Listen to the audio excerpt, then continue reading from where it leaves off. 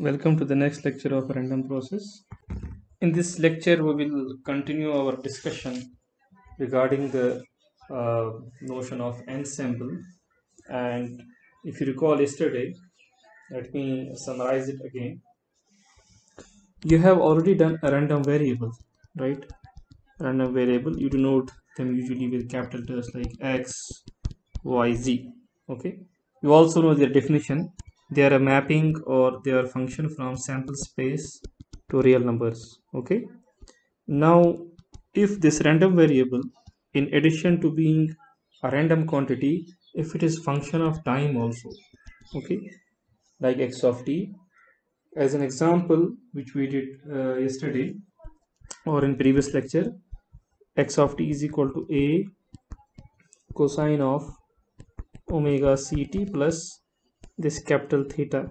So this capital theta here this is what we assume is a random variable. Okay it is a phase it is a random phase and its distribution is such that it, it is uniformly distributed. Uniformly distributed between suppose 0 and 2 pi. Okay? Then we realized that for for all t okay for every time instant suppose you can take time instant t1 t2 up to tn. We have correspondingly x of t1 x of t2 you know x of tn. So they are all random variables. They are all random variables. That is one thing. The other thing is that for some you know particular sample point particular sample point suppose this theta is equal to some small theta. Then for every such sample point this x of t you know i will now write it as x small x of t because it is now taking a particular value a cos omega ct plus theta. Now this is function of time okay? Uh, so in in general a random process is function of sample point as well as time okay? Uh, now we yesterday also discussed about suppose if you take these so-called n samples x of t1 x of t2 x of t3 one way to characterize them is to define their joint distribution okay? Uh, let's let's talk of joint cumulative distribution function which you might have done in your probability course otherwise. So what, what does it mean? We can ask question like this what is the probability that this random process at time t1 takes some value up to x1 and at time t2 it takes some value less than equal to x2 so on so forth. At time tn it takes value less than equal to xn so this by definition by notation we write it as like this. Uh, let me write x1 instead of x of t1 x2 xn. Okay. Now if you see for continuous distribution and uh, continuous random process sorry and that too which is defined in continuous time you can see that we need very you know infinite number of time instants to define. Then i uh, discussed just in the previous lecture i also discussed the possibility of you know can we have some simple random processes okay.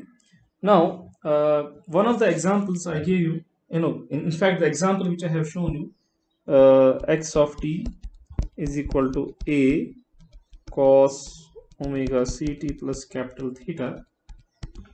You know with you know i demonstrated yesterday that its mean is zero. But this may not be the case always. Okay. Let me give an example. Suppose we have x of t is equal to log of so suppose 1 plus uh, 2t plus you know y where y is some random variable. Now if you see this particular process it mm, will not have mean zero okay? It's very complicated function.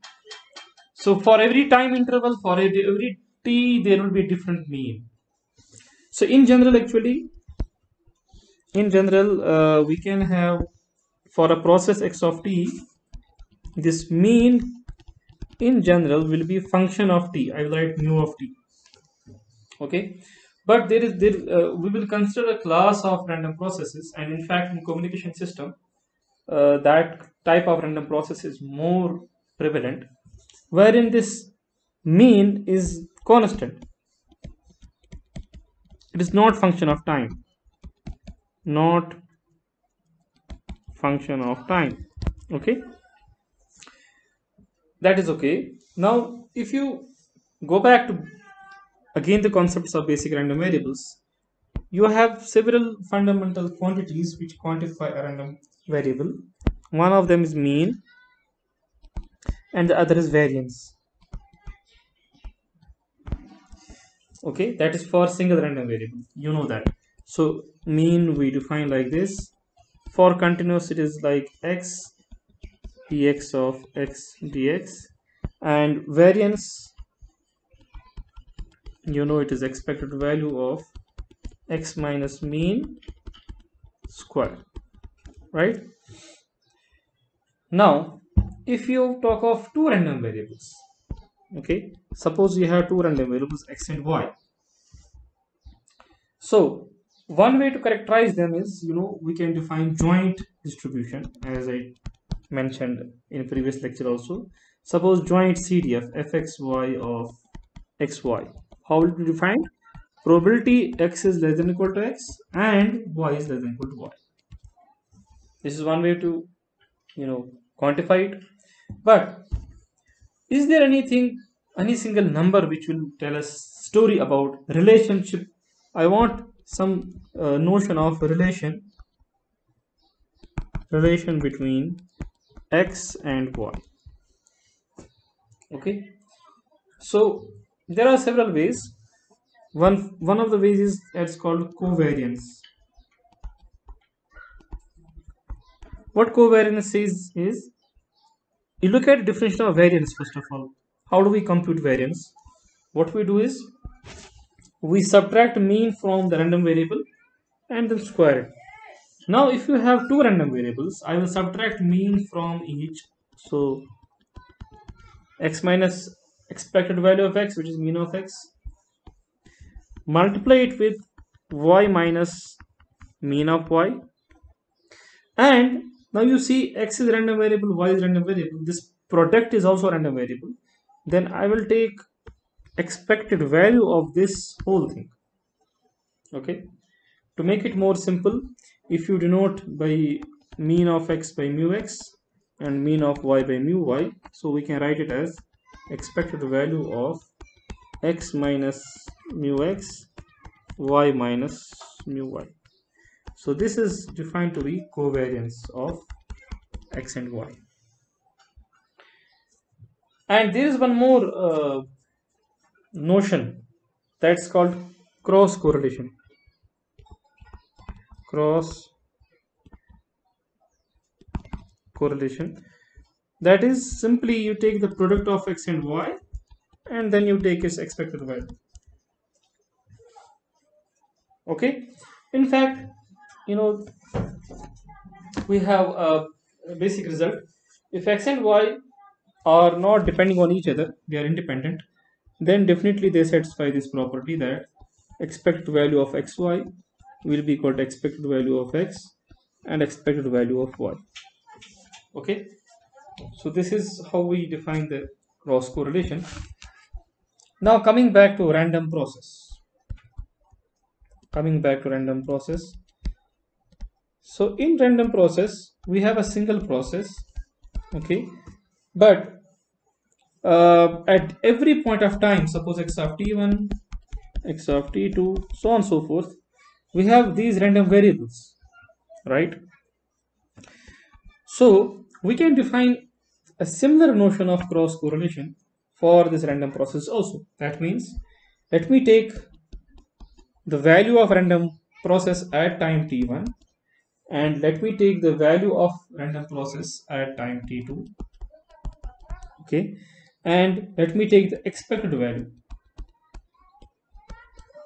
You know the notation as you might have seen the statistics also we we have a notation like x bar for expected value.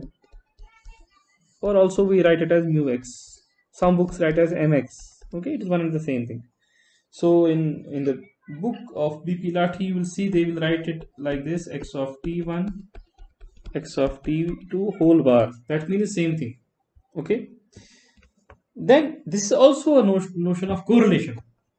How much x1 at time t1 is correlated with x at time t2 okay? But this correlation is about the same process x of t. We are not talking of two processes hence it has a name. First of all the notation we denote it by r x of t1 t2 and i will write here this this definition. And it is called autocorrelation function. Autocorrelation function. Autocorrelation function of x of t. Okay